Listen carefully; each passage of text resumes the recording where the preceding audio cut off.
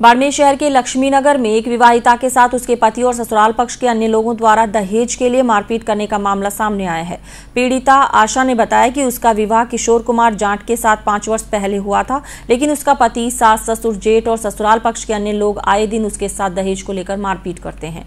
रविवार को उसके पति और अन्य लोगों ने उस के पीहर लक्ष्मीनगर में आकर धारदार हथियारों से जानलेवा हमला कर उसे गंभीर घायल कर दिया। महिला थाना पुलिस ने पीड़िता की रिपोर्ट के आधार पर मामला दर्ज किया है। बाड़मेर कोतवाली हलके में अपनी पत्नी और महज आठ महीने के मासूम को जान से मारने की नीयत से हमला करने का सनसनीखेज मामला सामने आया है। मामले को लेकर गंभीर रूप से घायल पीड़िता जहाँ अस्पताल के बिस्तर पर अपने मासूम के साथ है, वहीं पुलिस ने मामला दर्ज कर मामले की जाँच शुरू की है। बताया जा रहा है कि आरोपी खुद पुलिस में कार्यरत है, जिसके चलते पुलिस पीड़िता पर राजीनामे का दबाव भी बना रही है। पुलिस से मिली जानकारी के मुताबिक आशा, पत्नी किशोर कुमार जाट, निवासी ईश्वरपुरा, हाल खंगटो की तला धारासर ने मामला दर्ज कराया कि उसकी शादी तकरीबन पाँच साल पहले हिंदू रीति रिवाज के साथ किशोर कुमार के साथ हुई थी। उस वक्त उसके घर वालों ने सामर्थ्य के अनुसार दहेज दिया था, लेकिन शादी के महज एक साल बाद उसका पति किशोर कुमार, सास पांची देवी, ससुर नारायणा राम ननद हेमी जेठ सांगाराम, जेठ जसू निवासी ईश्वरपुरा कापराऊ द्वारा उसको दहेज के लिए प्रताड़ित किया गया।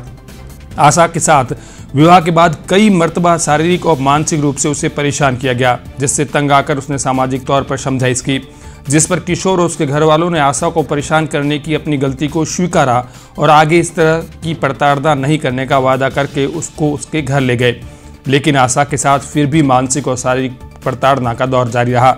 आशा के मुताबिक सभी प्रताड़नाओं के बीच उसने अपने पैरों पर खड़ा होने का ठाना। पीड़िता के मुताबिक 26 सितंबर को उसकी रीट परीक्षा के लिए वह लक्ष्मी नगर में किराए के कमरे पर रहकर तैयारी कर रही थी। तभी उसका पति किशोर कुमार और अन्य लोग मुँह पे शरीर पर कपड़े से ढककर अनाधिक रूप से घर में प्रवेश किया और उसके जान से मारने की नीयत से धारदार हथियार और चाकू से ताबड़तोड़ वार कर उसके हाथ, शरीर और गले पर वार किया। उसकी माँ बीच बचाव करने के लिए आई तो उसके साथ पे भी मारपीट की गई। इतना ही नहीं, इन दरिदों ने उसके आठ माह के बच्चे को पकड़कर गला दबाकर उसको जान से मारने की कोशिश की।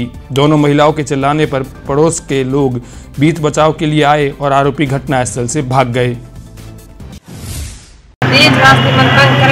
मारने की कोशिश करे मैंने बच्चे दो ने धमकी दे ने मार दे। మరకాల ఎగ్జామ్ పీజీ కాలేజ్ ఎగ్జామ్ దేవడాయి లేట్ होके હું એક લક્ષ્મીનગર રૂમ ગઈ રાત અગિયાર બજે આવ્યો આ દરવાજે તોડન મો આવ્યો મને સોરેન માને કોશિશ પછી ચિલ્લાઈ જઈને અડોશી પડોશી છૂટા દયા मौके पर पुलिस आई और ना कौन है हमारे पति कैम सर्विस करें पुलिस पुलिस की नाम है किशोर कुमार और उनको कई बार उन्होंने घर वालों ने मेरे को कह रहे हैं देर लेके आ गाँव तेरे माँ बाप से देर लेके आ देर के लिए परेशान करते हैं मेरे को।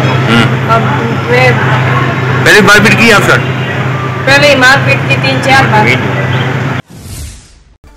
अब आशा ने पूरे मामले को लेकर महिला थाने में मामला दर्ज करवाया है जिसकी जाँच महिला थाना अधिकारी राम प्रताप सिंह कर रहे हैं। मामले में सबसे दुखद पहलू यह है कि विवेता खुद के पैरों पर खड़ा होने के लिए शिक्षक भर्ती परीक्षा में शामिल हुई थी, जो कि उसके पति और ससुराल पक्ष को नागवार गुजरा और उसको जान से मारने की नीयत से उसके ऊपर जानलेवा हमला किया गया।